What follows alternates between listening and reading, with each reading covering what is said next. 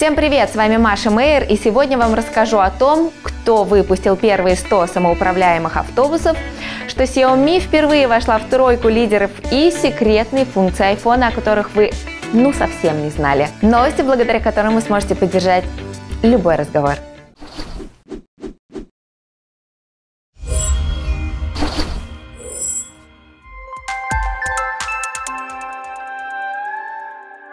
Китайская компания Baidu, которой в том числе принадлежит одноименный поисковик, рассказала о выпуске первых 100 автобусов с технологией автопилота.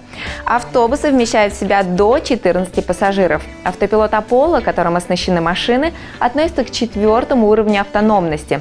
Автомобиль может полностью взять на себя управление в определенных условиях. Сейчас с Apollo работают 116 компаний, в том числе Jaguar и Land Rover. Автомобили без рулевого колеса и с высокой степенью автоматизации будут использоваться в Китае и в Японии.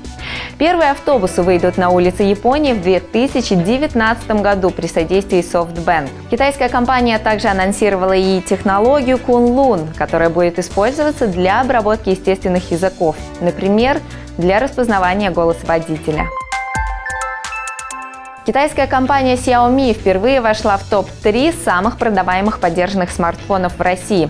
Первую строчку удерживает iPhone. Средняя стоимость смартфона на вторичном рынке за год упала всего лишь на 1%, а второе место занимает южнокорейский бренд Samsung. Стоимость его поддержанных смартфонов за год, внимание, выросла на целых 12%.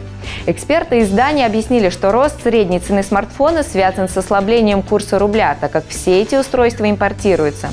По их данным, рост перепродаж Xiaomi связан с почти трехкратным ростом доли бренда на рынке новых смартфонов в 2017 году. А теперь я вас просто удивлю. Я просто могу поспорить с вами, что о таких функциях iPhone вы даже не догадывались.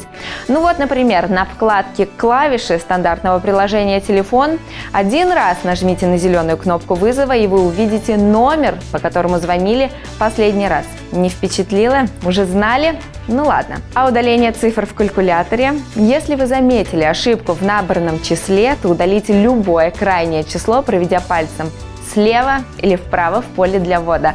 Ага, вот она, сама в шоке.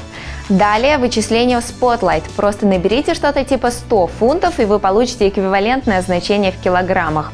Приложение «Уровень». Проведите пальцем справа налево в приложении «Компас», чтобы превратить ваш iPhone в измерительный инструмент.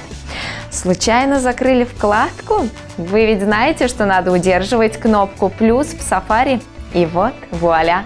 Желаю, чтобы ваши телефоны не терялись, ну а если все-таки это случилось, то просто спросите у Siri, чей это телефон. И голосовой помощник расскажет, как можно связаться с владельцем устройства. Желаю вам отличного настроения, хорошего дня. Всем пока!